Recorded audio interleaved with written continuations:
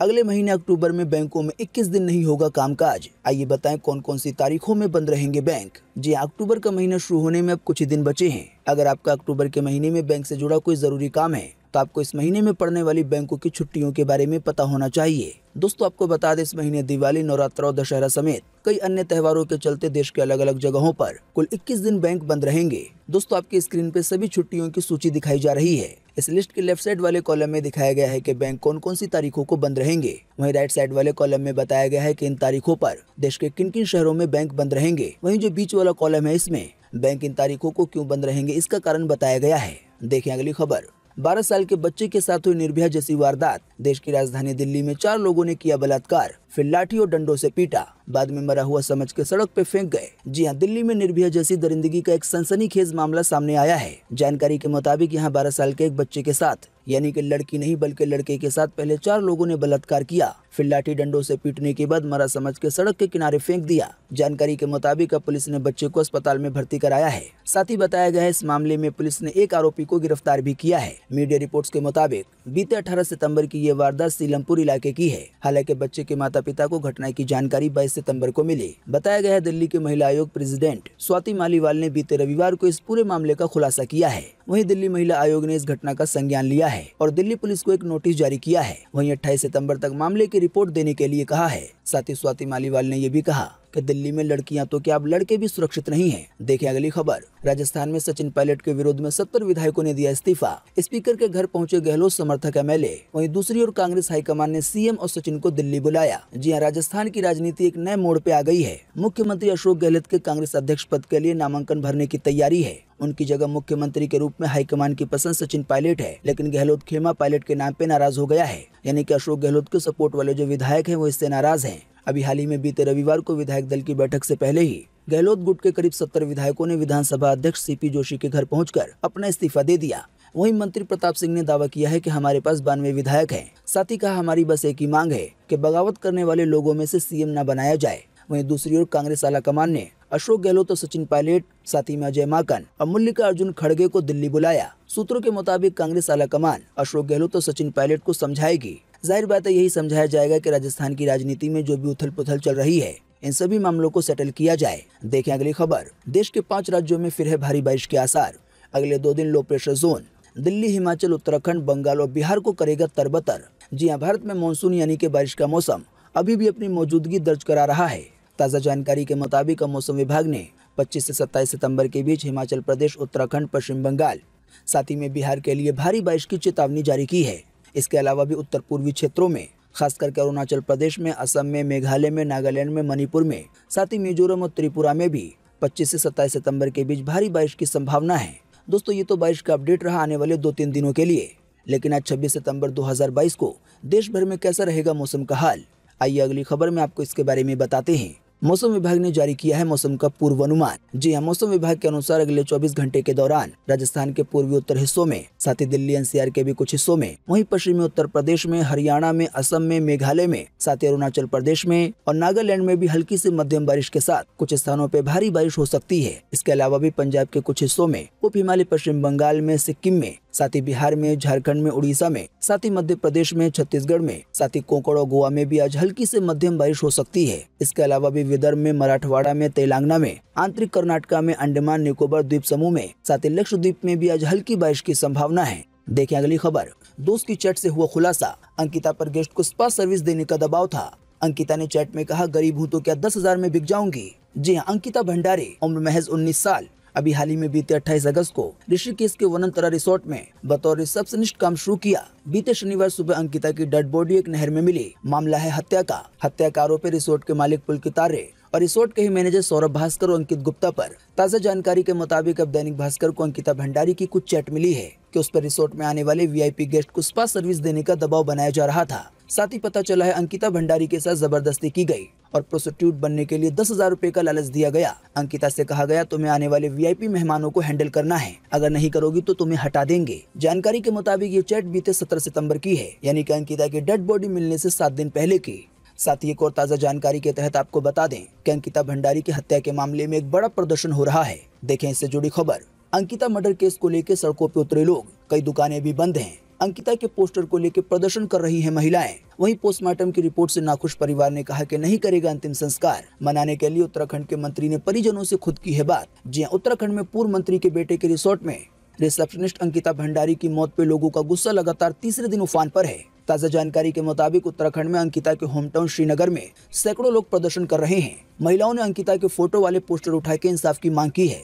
आपको बता दें, इससे पहले भी बीते शनिवार को नाराज़ लोगों ने आरोपी पुलकित आर्य के रिसोर्ट में आग लगा दी थी। वहीं इससे पहले बीते शुक्रवार को कोर्ट में पेशी के लिए जाते समय महिलाओं ने आरोपियों को जम के पीटा था। साथ ही आपको बता दें, अब इस केस को लेकर उत्तराखंड के मुख्यमंत्री ने एक बड़ा ऐलान किया है। देखे अपनी स्क्रीन पे, अंकिता भंडारी के हत्यारों को जल्द मिलेगी सजा। धामी सरकार बोली, फास्ट ट्रैक कोर्ट में होगी सुनवाई। जी हाँ मुख्यमंत्री पुष्कर धामी ने कहा है कि अंकिता भंडारी हत्याकांड की सुनवाई फास्ट ट्रैक कोर्ट से कराएँगे।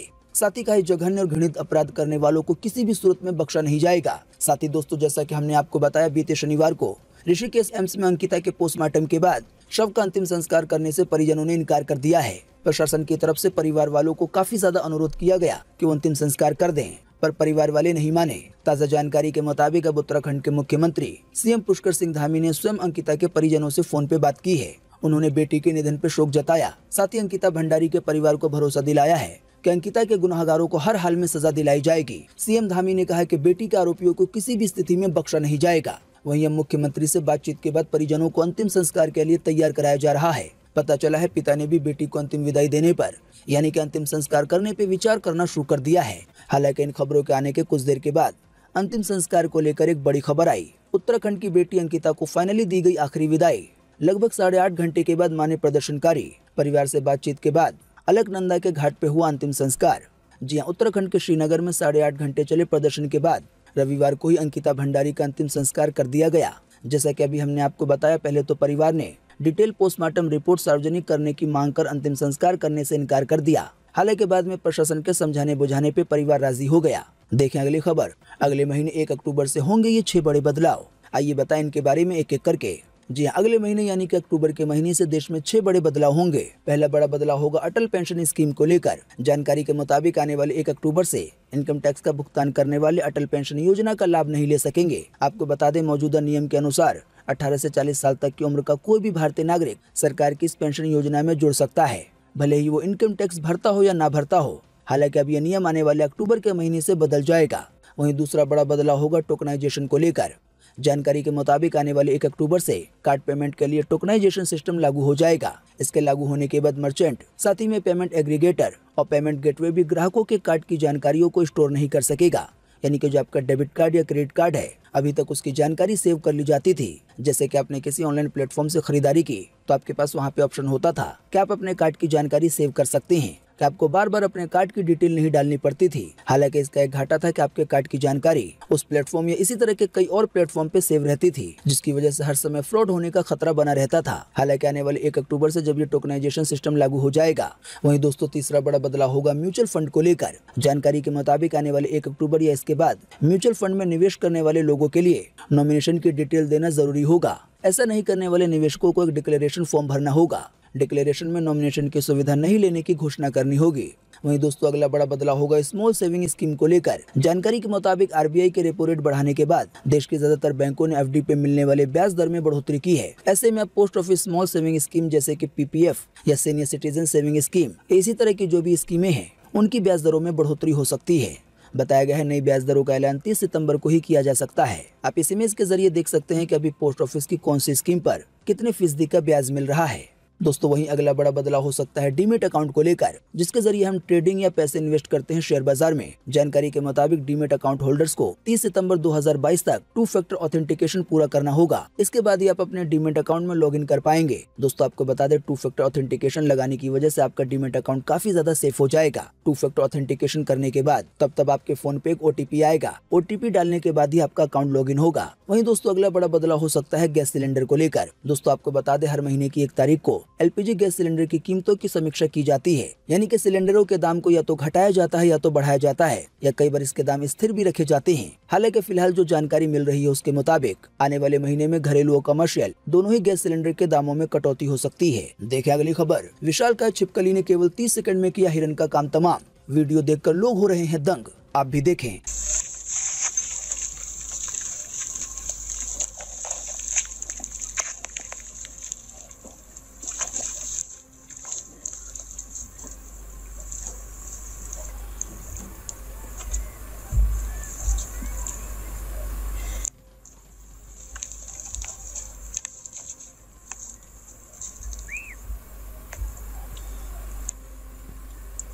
जी हाँ कभी छिपकली को आपने हिरन खाते देखा है? अगर नहीं देखा है तो वीडियो देखकर आप भी हैरान हो गए होंगे। सबसे पहले आपको बता दें कि ये मामला कब और कहाँ का है। फ़िलहाल इसकी पुष्टि नहीं हुई है, लेकिन इस उनतीस सेकंड के वायरल वीडियो में एक कोमोडो ड्रैगन जो कि देखने में बिल्कुल एक छिपकली की तरह लगता है। वो हिरन के एक बच्चे को अपना खाना बनाते हुए दिख रहा है। आपको बता दे जिस तरह से इस बड़ी छिपकली ने हिरन को निगला। ऐसे अपने अजगर को अपना खाना निगलते हुए देखा होगा। देखें अगली खबर। आज रविवार सुबह ग्यारह बजे मन की बात में पीएम मोदी ने किया ऐलान। कहा, चंडीगढ़ एयरपोर्ट का नाम शहीद भगत सिंह के नाम पे रखा जाएगा। जी हाँ प्रधानमंत्री नरेंद्र मोदी ने तिरानवी मन की बात कार्यक्रम में यह ऐलान किया है। कि चंडीगढ़ एयरपोर्ट का नाम शहीद भगत सिंह के नाम पर रखा जाएगा। बताया गया है ये फैसला भगत सिंह की जयंती के मौके पर उन्हें श्रद्धांजलि देने के लिए लिया गया है। आपको बता दें, शहीद भगत सिंह की जयंती आने वाले 28 सितंबर को मनाई जाएगी। ये जो फैसला लिया गया है, इस पे पीएम मोदी ने कहा कि मैं चंडीगढ़, पंजाब, हरियाणा और देश के सभी लोगों को इस निर्णय की बहुत बहुत बधाई देता हूँ। देखें अगली खबर। पब्लिक प्लेस पे चार्ज में लगाया मोबाइल और बैंक अकाउंट से गायब हो गए 16 लाख रुपए। रेलवे स्टेशन या एयरपोर्ट पे फ़ोन चार्ज करने पे हो सकती है जूस जैकिंग आइए बताएँ इससे कैसे बचे और ये क्या है? सभी तरह के फ़ोन चलाने वालों के लिए बेहद ही ज़रूरी है ये जानकारी। जी हाँ हैदराबाद में कंपनी के सीईओ को सोलह लाख रूपए का नुकसान झेलना पड़ा है। दरअसल वो किसी पब्लिक प्लेस पे अपना मोबाइल यूएसबी पोर्ट के ज़रिए चार्ज कर रहे थे। बाद में पता चला की उनके अकाउंट ऐसी सोलह लाख रूपए उड़ा लिए गए हैं। इससे पहले भी नई दिल्ली की एक महिला ने ऐसी ही शिकायत दर्ज करवाई थी की दिल्ली एयरपोर्ट पे जब उनके फ़ोन की बैटरी कम हो गई इसके बाद उन्होंने एयरपोर्ट पे मौजूदा यूएसबी चार्जिंग स्टेशन पर अपना फ़ोन चार्ज में लगा दिया। कुछ घंटे के बाद महिला के मोबाइल पे एक मैसेज आया, जिसमें पता चला कि बैंक अकाउंट से एक लाख बीस हज़ार रूपए निकाल लिए गए। इससे पहले भी इसी महीने उड़ीसा पुलिस ने भी एक ट्वीट किया, जिसमें कहा गया कि अपने मोबाइल फ़ोन को पब्लिक प्लेस जैसे मोबाइल चार्जिंग स्टेशन या यूएसबी पावर स्टेशन पे चार्ज न करें। ऐसा करने से साइबर फ्रॉड करने वाले आपके मोबाइल से आपकी पर्सनल जानकारी चुरा सकते हैं। और दोस्तों, कई बार देखा जाता है की इसके ज़रिए पैसे भी निकाल लिए जाते हैं, जैसे की हमने आपको कुछ मामलों के बारे में बताया। दोस्तों, आपको बता दें, इस तरह के फ्रॉड को जूस जैकिंग कहते हैं। अब आप सोच रहे होंगे कि पब्लिक प्लेस पे तो हम भी अपने फ़ोन को चार्ज करते हैं कि हमारे साथ भी ये घटना हो सकती है? तो आपको बता दें, इसका जवाब है हाँ आपके साथ भी इस तरह की घटना हो सकती है। ज़ाहिर बात इस तरह की सिचुएशन में आपको पता होना चाहिए, क्या कि जूस जैकिंग क्या होती है, और इसके ज़रिए कैसे पैसे उड़ा लिए जाते हैं, और आप इससे कैसे बच सकते हैं। तो सबसे पहला और बड़ा सवाल यही है कि आखिर ये जूस जैकिंग क्या है? तो आपको बता दें, ये एक तरह का साइबर या वायरस अटैक होता है। इसमें साइबर क्रिमिनल, पब्लिक प्लेस जैसे एयरपोर्ट, रेलवे स्टेशन या बस स्टैंड या मॉल में इस्तेमाल होने वाले यूएसबी चार्जिंग पोर्ट के ज़रिए किसी भी मोबाइल लैपटॉप टैबलेट या दूसरे डिवाइस में मालवेयर यानी कि वायरस को इंस्टॉल कर देता है और उस वायरस के ज़रिए फिर वो आपके फ़ोन या किसी दूसरे डिवाइस को ऑपरेट कर सकता है। कई बार ऐसा हो सकता है की आपके बैंक खाते ऐसी पैसे न उड़ाए जाए, लेकिन जो आपकी पर्सनल जानकारी है, वो चोरी हो सकती है। और कई बार देखा गया है की पर्सनल जानकारियों के ज़रिए लोगों को ब्लैकमेल तक किया जाता है और इसके ज़रिए पैसे ऐठे जाते हैं। आपको बता दें, असल में डाटा चोरी ऐसे हो जाता है। असल में यूएसबी टू यूएसबी के ज़रिए आसानी से डेटा को ट्रांसफ़र किया जा सकता है। आप में से अक्सर ने यूएसबी डेटा केबल का इस्तेमाल किया होगा। जैसा कि हम और आप जानते हैं कि यूएसबी केबल के ज़रिए हम अपने फ़ोन को किसी दूसरे फ़ोन से या किसी दूसरे डिवाइस से कनेक्ट कर सकते हैं। इसी की वजह से जब आप अपने फ़ोन को किसी पब्लिक प्लेस पर यूएसबी चार्जिंग पॉइंट के ज़रिए चार्ज करते हैं तो आपका डेटा चोरी हो जाता है। वैसे तो एक्सपर्ट यही सलाह देते हैं की जब भी आप कभी बाहर सफ़र पे निकले तो अपने साथ पावर बैंक रखें और पब्लिक प्लेस पर अपने घर या किसी भरोसेमंद जगह को छोड़कर अपने फ़ोन को कहीं पर भी चार्ज ना करें। हालाँकि अगर चार्ज करने की ज़रूरत पड़ जाती है तो आप अपने फ़ोन को एसी पावर सॉकेट के ज़रिए चार्ज कर सकते हैं। आप अपनी तस्वीर पे देख सकते हैं कि चार्ज करने के लिए दो तरह के चार्जिंग पॉइंट का इस्तेमाल किया जाता है। पहला चार्जिंग पॉइंट होता है यूएसबी टू यूएसबी इसमें आप बिजली के बोर्ड में सीधे अपना यूएसबी केबल लगा देते हैं और यही वो चार्ज करने का तरीका है जिससे आपका डेटा चोरी हो सकता है, आपका बैंक खाता तक खाली हो सकता है। हालाँकि जो दूसरा चार्जिंग पॉइंट होता है एसी पावर सॉकेट वाला, यानी कि जिसमें हम प्लग लगाते हैं, अगर आप इसके ज़रिए पब्लिक प्लेस पर भी अपने फ़ोन को चार्ज करेंगे, तब आपका डेटा चोरी नहीं होगा। इसके पीछे असल बात यह है की चार्जर के ज़रिए आपके मोबाइल के साथ डेटा कम्युनिकेशन नहीं किया जा सकता, लेकिन जो direct USB to USB charging point होता है, इससे आपका डेटा ट्रांसफ़र हो सकता है। तो सावधान रहिए। देखें अगली खबर। अमेरिका में बज रहा है भारत का डंका। महामारी में छोटे देशों के लिए अपना भारत बना हीरो। न्यूयॉर्क में सबने कहा थैंक यू। जी हाँ दक्षिण अमेरिका के देश गुआना में विदेश मंत्री ह्यूग हिल्टन टोड ने बीते शनिवार को न्यूयॉर्क में कहा कि हमारे देश को भारत के विकास से बेहद फ़ायदा हुआ है, क्योंकि भारत का फोकस मानव विकास पे रहता है। जानकारी के मुताबिक वहाँ के विदेश मंत्री toad India at the rate seventy नामक एक स्पेशल इवेंट को संबोधित कर रहे थे। साथ ही उन्होंने कहा की गुआना में भारत की संस्कृति तब से मौजूद है, जब से 19वीं शताब्दी में भारतीय मजदूर यहाँ आए थे। आपको बता दें, बीते शनिवार को भारतीय विदेश मंत्री एस जयशंकर ने संयुक्त राष्ट्र महासभा के सतहत्तरवें सत्र को संबोधित किया। उसकी वजह से अपने देश की दुनिया भर में तारीफें हो रही है। देखे अगली खबर। यूपी के ललितपुर में फ़सल काटने जा रहे मजदूरों ऐसी भरी ट्रैक्टर ट्रॉली की ट्रक ऐसी हुई भिड़ंत दो महिला समेत चार की हुई मौत। दस की हालत है गंभीर। जी उत्तर प्रदेश के ललितपुर में भयंकर सड़क हादसे में दो महिला मजदूर समेत चार लोगों की मौत हो गई है। वहीं दस मजदूर गंभीर रूप से घायल बताए जा रहे हैं। आपको बता दें, ये हादसा आज रविवार सुबह को ही हुआ है। हादसा होने की वजह से चारों ओर चीखो पुकार मच गई। सूचना मिलने पे पुलिस पहुँची और घायलों को अस्पताल पहुँचाया। देखें अगली खबर। थैंक गॉड मूवी की रिलीज़ पे छाए संकट के बादल। अजय देवगन को चित्रगुप्त के रूप में लड़कियों के साथ नाचता देख भड़के लोग। अब एक नई शिकायत हुई दर्ज जी अजय देवगन और सिद्धार्थ मल्होत्रा की फ़िल्म थैंक गॉड मुश्किलों में घिरती नज़र आ रही है। जानकारी के मुताबिक फ़िल्म मेकर इंद्र कुमार और थैंक गॉड के अभिनेताओं के खिलाफ उत्तर प्रदेश के जौनपुर में अभी हाल ही में धार्मिक भावनाओं को आहत किए जाने का एक मामला दर्ज करवाया गया था। अब ताज़ा जानकारी के मुताबिक कैसर समाज के सदस्यों ने राजस्थान में इस मूवी के खिलाफ शिकायत दर्ज कराई है। उन्होंने फ़िल्म पे उनके समुदाय की धार्मिक भावनाओं को आहत करने का आरोप लगाया है। दोस्तों, शायद आपको पता होगा की थैंक गॉड मूवी का ट्रेलर रिलीज़ हो चुका है। इस मूवी में अजय देवगन, भगवान चित्रगुप्त का रोल निभा रहे हैं। साथ ही वो कई तरह के जोक्स मारते हुए भी दिखाई दे रहे हैं। इसके अलावा वो लड़कियों के साथ डांस कर रहे हैं। इसी की वजह से फ़िल्म को लेकर हालात बिगड़ते जा रहे हैं। आने वाले दिनों में अगर ये मामला कोर्ट में चला जाता है तो मूवी की रिलीजिंग भी रुक सकती है। देखें अगली खबर। कोर्ट में लेडी वकील को छेड़ने वाला जज हुआ सस्पेंड। छेड़ते समय जज साहब ने लेडी वकील को अपनी तरफ़ खींचा। और फिर चेहरे से बालों को हटाया। बाद में लेडी की बदनामी के लिए इससे जुड़ी सीसीटीवी फुटेज वीडियो भी वायरल कर दी। जी, हरियाणा के भिवानी में अतिरिक्त जिला एवं सत्र न्यायाधीश यानी कि एडीजी ने महिला वकील से छेड़छाड़ की। बताया गया ये घटना भिवानी कोर्ट कॉम्प्लेक्स में हुई। ताज़ा जानकारी के मुताबिक अब महिला वकील की शिकायत पर हाईकोर्ट ने एडीजे को सस्पेंड कर दिया है। साथ ही पता चला है, जब जिला न्यायाधीश को सस्पेंड किया गया तो फिर इस जज साहब ने एक वकील के ज़रिए घटना से जुड़ी सीसीटीवी वीडियो वायरल करवा दी। Punjab and Haryana high court ने एडीजी को निलंबित करके आगे की कार्रवाई शुरू कर दी है। देखें अगली खबर। आलिया भट्ट की हॉलीवुड फ़िल्म का फ़र्स्ट लुक हुआ release. Heart of stone movie में एक्शन करती नज़र आई। अगले साल 2023 में रिलीज़ होगी ये फ़िल्म। जी हाँ बॉलीवुड एक्ट्रेस आलिया भट्ट ने सोशल मीडिया के ज़रिए अपनी पहली Hollywood debut film heart of stone का फ़र्स्ट लुक शेयर किया है। इस मूवी में आलिया भट्ट के साथ गल गडोट और जेमी डॉनन है। जानकारी के मुताबिक ये मूवी अगले साल 2023 में नेटफ्लिक्स पे रिलीज़ होगी। बॉलीवुड की दुनिया से देखें एक और खबर। 2022 की हाईएस्ट ग्रोसिंग फ़िल्म बनी ब्रह्मास्त्र। हालाँकि 12 करोड़ के बजट में बनी। The Kashmir file movie profitable फ़िल्मों की लिस्ट में है टॉप पर। जी हाँ, ब्रह्मास्त्र मूवी ने पंद्रहवें दिन सभी भाषाओं को मिलाकर भारत में 241 करोड़ रुपए का कलेक्शन किया है। ट्रेड एक्सपर्ट्स का मानना है की फ़िल्म जल्दी 250 करोड़ रूपए का आंकड़ा पार कर लेगी। आपको बता दें 410 करोड़ के बजट में बनी इस फ़िल्म ने वर्ल्ड वाइड तीन सौ पचासी करोड़ रुपए का कलेक्शन महज पंद्रह दिनों में करके इस साल सबसे ज़्यादा कमाने वाली दूसरी फ़िल्म बन गई है। हालाँकि दोस्तों, इसके बावजूद भी गौर करने वाली बात यह है कि अभी तक सबसे ज़्यादा प्रॉफिट कमाने वाली फ़िल्म द कश्मीर फ़ाइल ही है। तो आपको बता दें, पूरा खेल है बजट का। असल में जो ब्रह्मास्त्र मूवी है, इसने कमाई तो ज़्यादा की है, लेकिन जानकारी के मुताबिक इस मूवी को बनाने में 410 करोड़ रुपए खर्च हुए हैं। वहीं जो द कश्मीर फ़ाइल मूवी है, इसने वर्ल्ड वाइड लेवल पर अभी तक तीन सौ इकतालीस करोड़ रुपए की कमाई की है। हालाँकि इस मूवी को बनाने का बजट केवल बारह करोड़ रुपए है। इसी की वजह से इस साल अभी तक सबसे ज़्यादा प्रॉफिट कमाने वाली फ़िल्म यही यानी कि द कश्मीर फ़ाइल मूवी है। देखें अगली खबर। गूगल अपनी मोनोपोली की वजह से फिर है चर्चा में। क्लिक दर क्लिक ये बना है इंटरनेट का राजा। आज करीब ये 232 कंपनियों का है मालिक। जी हाँ गूगल एक ऐसी टेक कंपनी है जो किसी गुरु से कम नहीं है। आज जब भी हमारे मन में कोई सवाल उठता है तो सबसे पहले हम गूगल से जवाब मांगने पहुँच जाते हैं। आपको बता दें गूगल एक ऐसा सर्च इंजन है, जो आधे सेकंड से भी कम समय में आपको दस अरब से ज़्यादा सर्च रिज़ल्ट दे सकता है। हालाँकि इस बात पर निर्भर होता है कि आपने क्या पूछा है।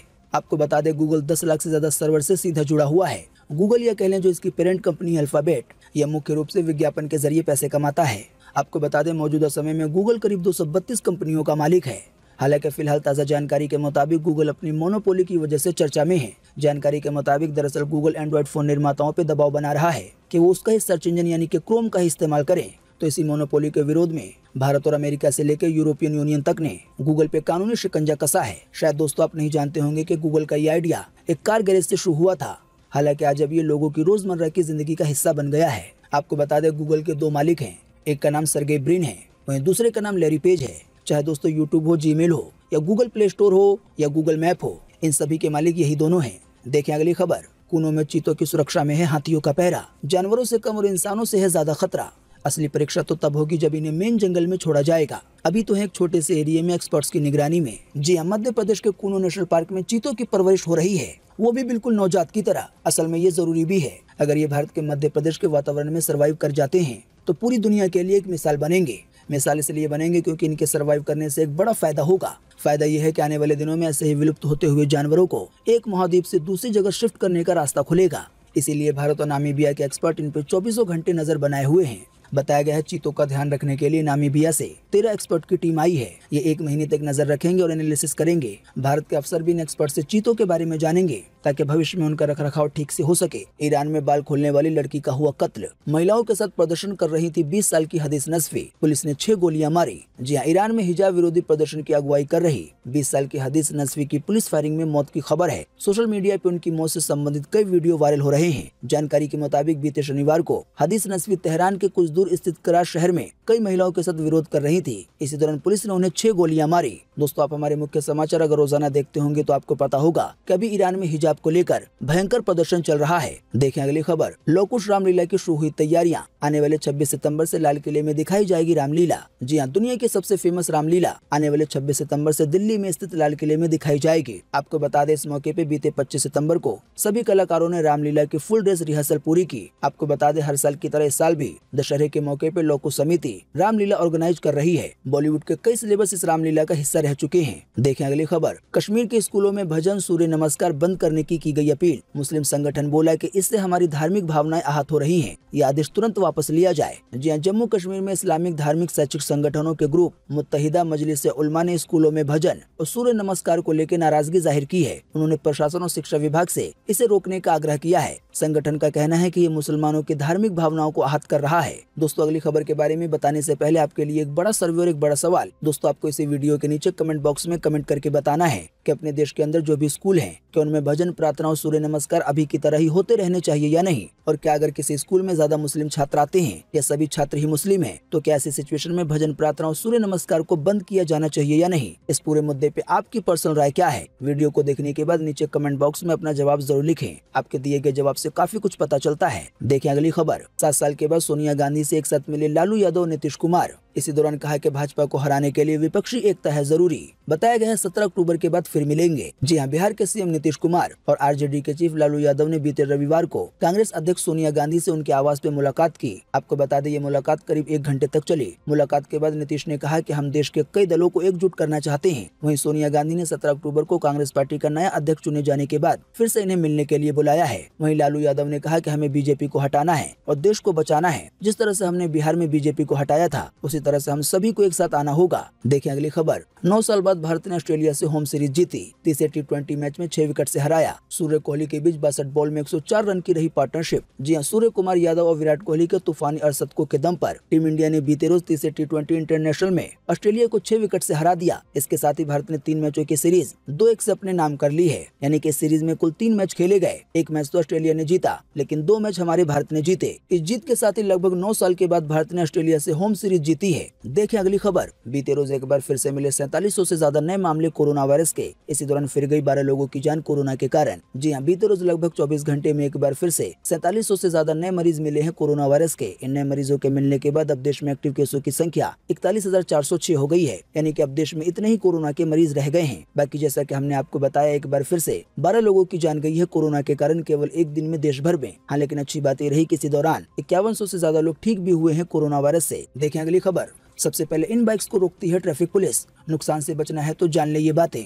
जी आपने ट्रैफ़िक सिग्नल पे अक्सर देखा होगा कि पुलिस दूर से ही कुछ गाड़ियों की पहचान करके उसे हाथ दे के रोक लेती है और उसकी चेकिंग करने लगती है। आपके साथ भी कभी न कभी शायद ऐसा हुआ होगा या आपने किसी और के साथ ऐसा होते हुए देखा होगा। दरअसल बात यह है कि हम बाइक सड़क पर ले जाते समय छोटी मोटी कुछ ऐसी गलतियाँ कर जाते हैं जिससे ट्रैफ़िक पुलिस की नज़रों में हम झट से आ जाते हैं। जैसे कि पहली गलती है बाइक को मॉडिफाई कराना। मॉडिफाई बाइक्स दूर से ही दिख जाती है और अपने सेगमेंट में कुछ अलग होने के कारण ट्रैफ़िक पुलिस की निगाहों में जल्दी आ जाती है। साथ ही जानकारी के मुताबिक ट्रैफ़िक पुलिस की निगाहों में आने का एक दूसरा सबसे बड़ा कारण होता है फैंसी नंबर प्लेट आपको बता दें मोटर व्हीकल एक्ट के अनुसार गाड़ियों में फैंसी नंबर प्लेट लगवाना अवैध है। नियमों का उल्लंघन करने वालों के खिलाफ भारी चलान कटता है। देखें अगली खबर। बिहार में नीतीश के साथ गठबंधन के सभी दरवाजे हुए बंद। अमित शाह ने किया ऐलान। बिहार भाजपा के लिए 2024 के लोकसभा चुनाव। और 2025 में होने वाले विधानसभा चुनाव के लिए सभी बातें साफ़ कर दी हैं। उन्होंने कहा है कि बीजेपी चुनाव लोकसभा चुनाव के बाद और विधानसभा चुनाव से पहले अपना मुख्यमंत्री पद का उम्मीदवार घोषित करेगी। साथ ही अमित शाह ने कहा कि हमने अपने पूर्व सहयोगी और बिहार के मुख्यमंत्री नीतीश कुमार के भविष्य के किसी भी गठबंधन के लिए सभी दरवाजे बंद कर दिए हैं। यानी कि बीजेपी पार्टी ने ये साफ़ कर दिया है कि आने वाले भविष्य में भी अब वो नीतीश कुमार के साथ गठबंधन नहीं करेगी। देखें, बीजेपी पार्टी से जुड़ी एक और खबर। सत्ताईस सितंबर को बीजेपी ने बुलाई बैठक। सभी राज्यों के प्रभारी होंगे शामिल। जी हाँ चुनाव के लेकर बीजेपी ने राज्य प्रभारियों की एक बैठक बुलाई है। जानकारी के मुताबिक ये बैठक आने वाले 27 सितंबर को होने वाली है। सूत्रों के मुताबिक इस बैठक की अध्यक्षता बीजेपी के राष्ट्रीय महासचिव बी एल संतोष करेंगे। बताया गया है बैठक में भाजपा के अध्यक्ष जेपी नड्डा भी शामिल हो सकते हैं। आपको बता दें, इस बैठक से पहले सभी प्रभारी अपने प्रभार से संबंधित राज्यों का दौरा भी कर रहे हैं। इन राज्यों में संगठन को मज़बूत करने के लिए इस तरह की बैठक हो रही है। कुल मिलाकर आसान सी भाषा में कहें तो बीजेपी ऐसी मेहनत कर रही है, ताकि आने वाले दिनों में देश के सभी राज्यों में बीजेपी की सरकार हो। देखें अगली खबर, ताइवान को लेकर चीन की खुली धमकी। कहा, रास्ते में आने वालों को मिलेगा करारा जवाब। जी हाँ चीन ने ताइवान पे अपने दावे को लेकर प्रतिबद्धता रेखांकित करते हुए बीते शनिवार को विश्व नेताओं से कहा कि जो कोई भी उसके और ताइवान के बीच में आएगा, उसे करारा जवाब का सामना करना पड़ेगा। दोस्तों, आपको बता दें, चीन ताइवान पर अपने दावे का जोरदार बचाव करता है। असल में ताइवान उन्नीस सौ उनचास के गृह युद्ध के बाद चीन से अलग हो गया था। हालाँकि चीन बराबर ताइवान पे अपना दावा ठोकता रहता है और उसे अपने ही देश के एक प्रांत के रूप में मानता है और कब्जा करने की भी बात करता रहता है। हालाँकि अमेरिका इसके खिलाफ है। देखें अगली खबर। पेड़ के नीचे सो रहा था टाइगर, कुत्ते ने ललकारा। टाइगर ने बस आठ सेकंड में ही खत्म कर दिया खेल। देखें इस वीडियो में ये सब कैसे हुआ।